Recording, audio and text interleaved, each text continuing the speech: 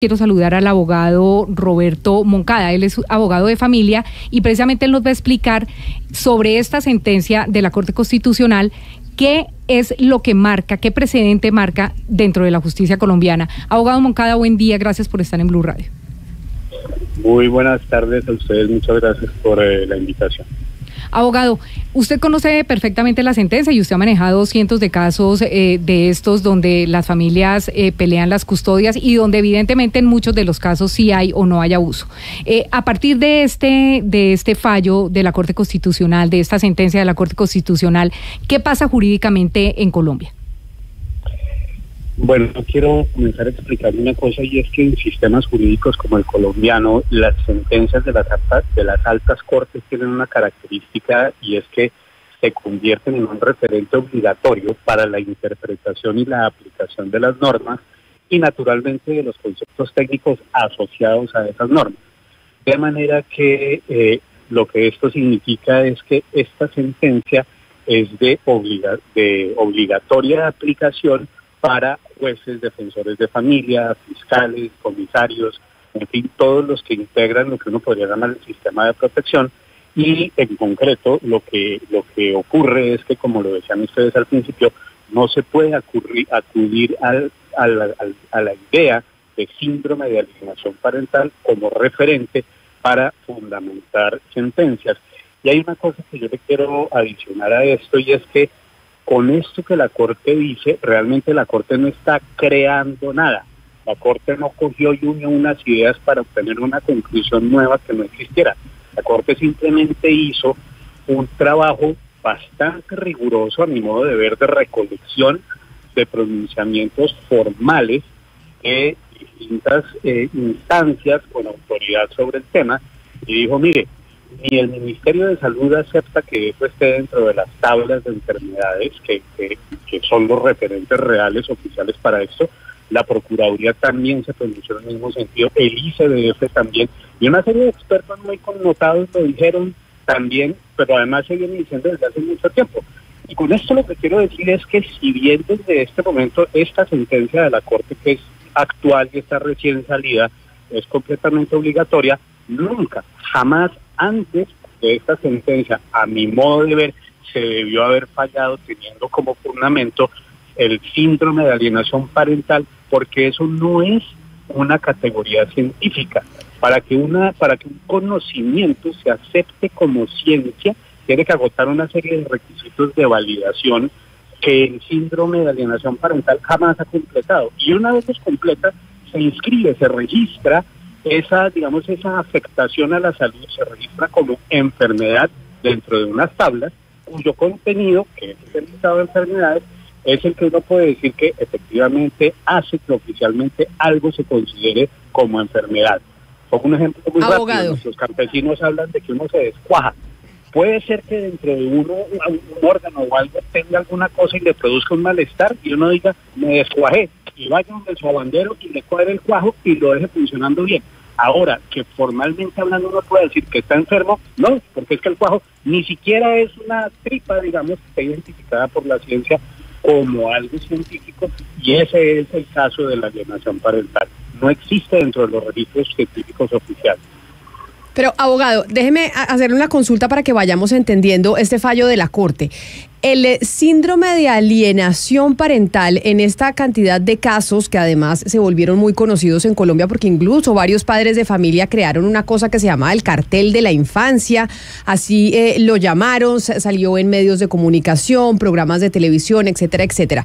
En el proceso en que se acusaba a un padre de familia de acoso o abuso sexual del menor por la contraparte, el síndrome de la alienación parental la usaba cuál de las partes dentro del proceso?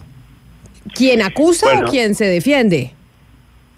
Normalmente la, lo, alega a su favor quien se defiende de la acusación y a este respecto yo creo que implementar, digamos, una fórmula que se utilizó al introducir este tema, que fue la del drama de los padres que han sido falsamente acusados.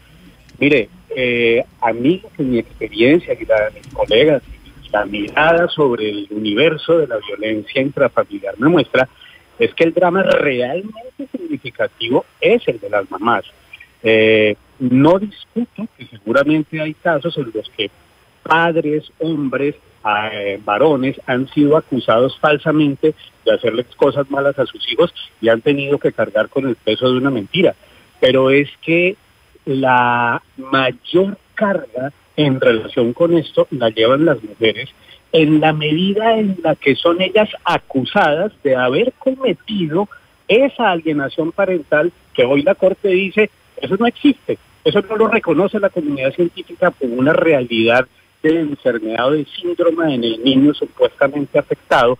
Por lo tanto, realmente el drama ha sido para ellas, que cuando han ido a denunciar abusos contra sus hijos, se han encontrado un sistema que tiene una tendencia, y es lamentable que esto sea así, a echarles a ella la culpa y decirles, es que usted está porque la dejaron, es que usted es histérica, es que usted está descompensada, y con unos argumentos que son tomados más de una idea de una feminidad un poco, digamos, ridícula y escandalosa, que desvirtúan la validez de sus afirmaciones y especialmente la validez de las afirmaciones que hacen los propios niños víctimas de esto. Entonces eso era lo primero, digamos, que, que, quería decir. Ahora, para responderle su pregunta, ¿quién es el que alega a su favor que el niño fue alienado? Pues se le acusaba de haber abusado de él. ¿Qué significa la palabra alienación? Literalmente significa enajenación. ¿Eso qué quiere decir? Están acusando a la mamá o al papá supuestamente alienador de haberse tomado para sí la conciencia de su hijo o de su hija y manipularla al grado de poder introducir en ella la convicción falsa de que fue víctima de abuso sexual. Entonces, por eso es el abusador el que recurre a eso. Y si usted se fija, los casos que se mm, ventilaron, digamos, en, en el programa al que ustedes se referían al principio de hace cinco años, eh, todos ellos, digamos, dicen, sí, efectivamente, la mamá de mis hijos eh, utilizó la alienación parental para hacer decir a mi hijo que yo había abusado de, había abusado de él. Y el punto grave de todo esto, ¿cuál es? Pues que la gran mayoría de la comunidad científica, bueno, no sabría decir si mundial, pero por lo menos internacional, no acepta que sea válido, que sea posible implantar recuerdos de experiencias no vividas. Uno sí puede engañar a alguien respecto de cosas que no conoce. Eso es el chisme, eso es la cizaña, eso es la, eso es la insidia, ¿no? Que uno llega y le dice, y era lo que dijo fulanito de usted, uno inmediatamente no tiende a creerlo y se indispone contra esa persona.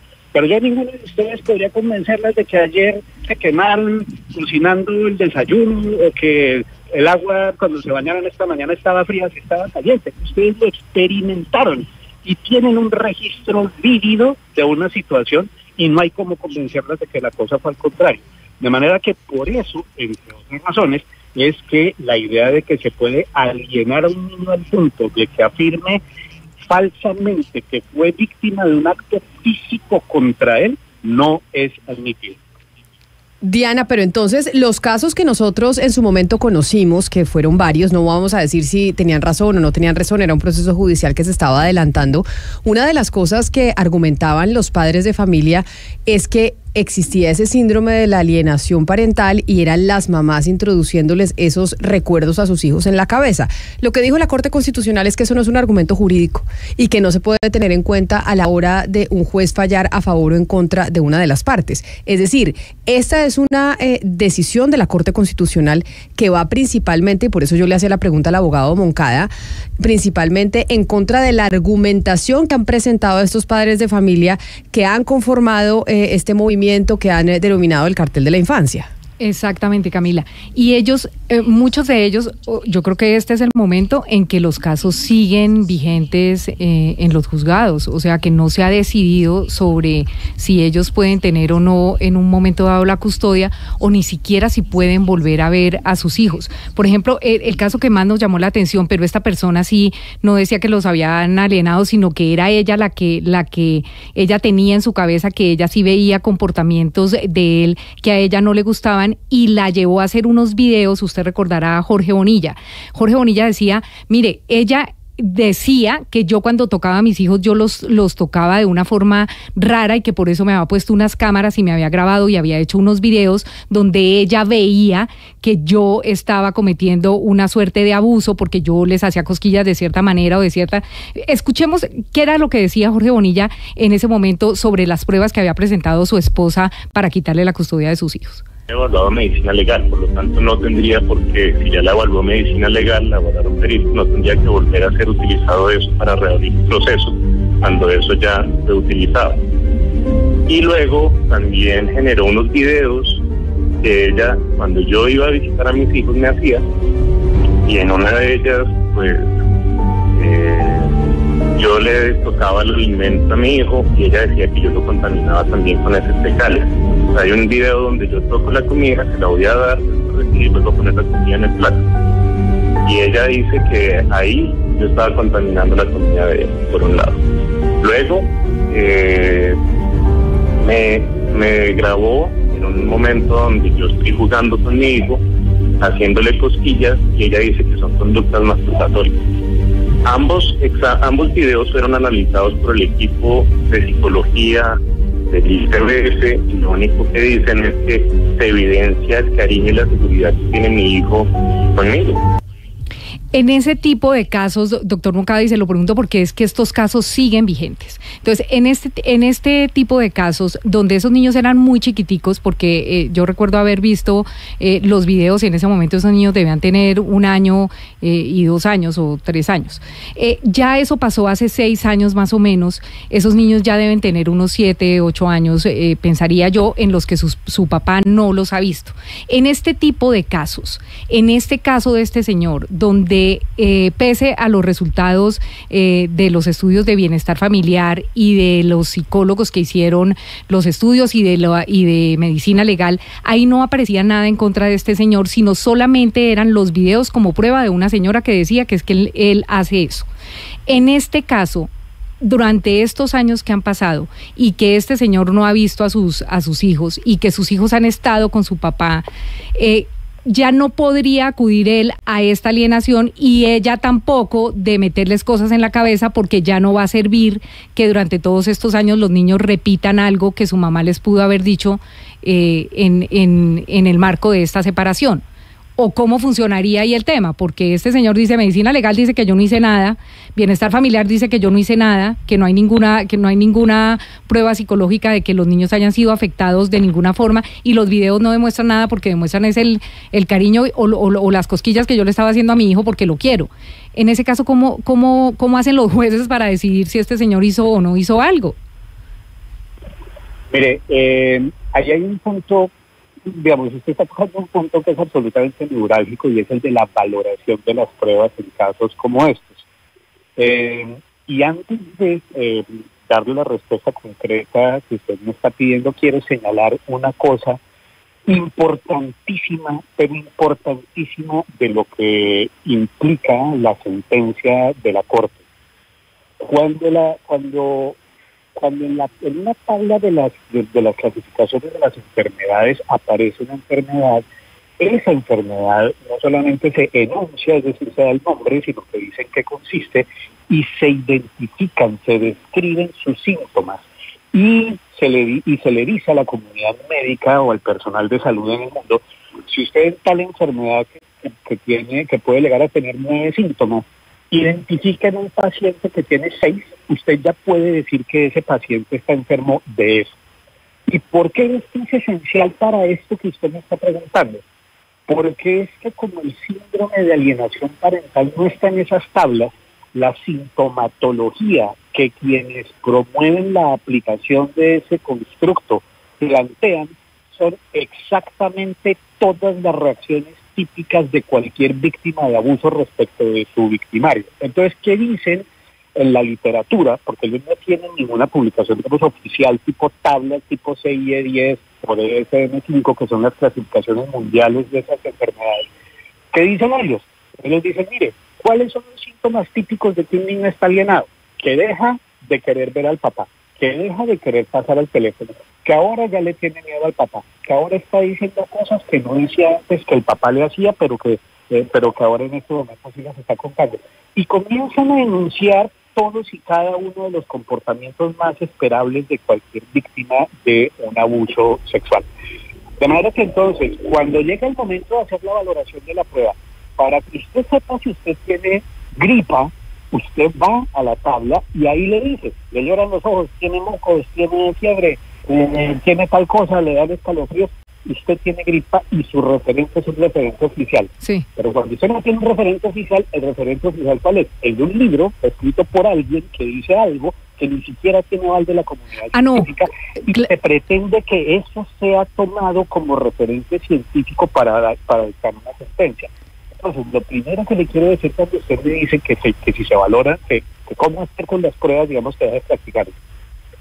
Si se valoraron como, como evidencia de que el niño o la niña estaba presentando comportamientos típicos de la alienación parental, esa esa práctica quedó mal hecha.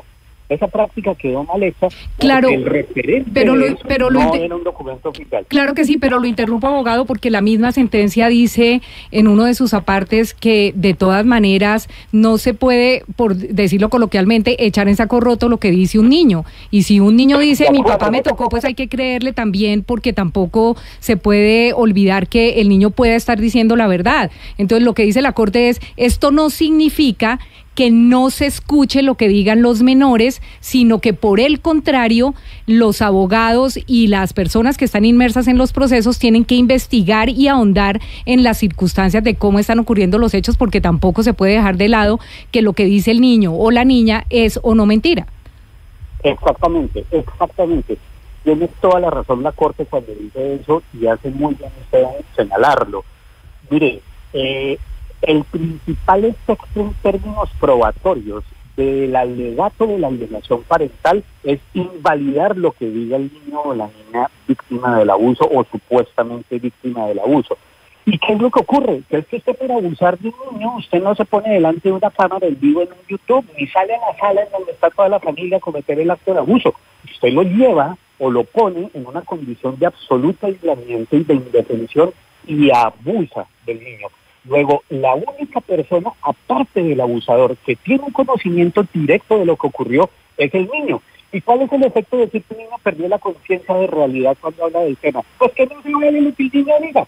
Y entonces por esa vía se anula el testimonio de los niños, o digamos la declaración de la víctima, y eh, produce el efecto de dejar sin la acusación, al menos a ese respecto. Entonces, realmente casi que la principal consecuencia de la, de la alienación parental es callar a la víctima, invalidar sus pronunciamientos, sus, sus manifestaciones sobre eso, y sin eso dejar al juez sin elementos reales para dictar una sentencia fundamentada en algo. Por, digamos, por eso es que la Corte dice con toda la razón eso que usted rescata ahorita de la sentencia. Al contrario, al niño hay que ponerle atención. Y a ese respecto también quiero agregar una cosa que me parece muy relevante. La valoración de los testimonios de los niños termina cayéndose muchas veces por cosas que no son realmente importantes. El niño que describe la sensación de desgarro por la penetración de un pene o de, un, o de una mano o, con un, un objeto eh, por el ano, por la vagina, por donde sea, termina de contar eso y le dicen de qué color era la camisa de tu papá y un día dijo rosado y el otro dijo amarillo, entonces se cayó el testimonio por el color de la camisa. Mire, esas prácticas de valoración de pruebas necesitan depurarse muchísimo y la comprensión real de los comportamientos de las víctimas también debe conocerse muchísimo mejor por las autoridades que eh, llevan a cabo esos juicios. He tenido casos, he tenido casos en los que eh, niños eh, que han sido objeto de abuso eh, y la contraparte, digamos, el, abusador, eh, dice que han sido alienados, estos niños cuando llegan a ver a su papá o a su mamá en cámara, estallan en insultos y en unas groserías y una cosa que ustedes no se alcanzan a imaginar lo que un niño chiquito puede llegar a decir cuando ve a su agresor en cámara. Y resulta que ¿qué hace el juez? Dice, qué niño tan grosero. Eso es que ese papá, mejor dicho, le permite todo, o esa mamá le permite decir cualquier cosa. No, señores. Lo que pasa es que ese niño está teniendo en ese momento un ataque de una cosa que se llama coprolalia, Es una reacción que consiste en descargar toda la agresión verbal posible contra el objeto de dolor que le está desencadenando al niño todas las memorias traumáticas que le quedaron del abuso eh, al que lo sometió esa persona que está viendo en ese momento. O que dicen, por ejemplo, eh, es que el niño tiene ahora un lenguaje adulto, un niño no se expresa de esa manera. Error.